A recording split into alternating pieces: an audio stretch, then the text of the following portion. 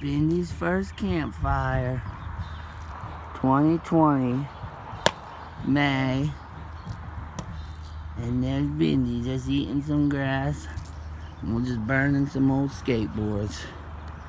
What you doing on your weekend? See you guys.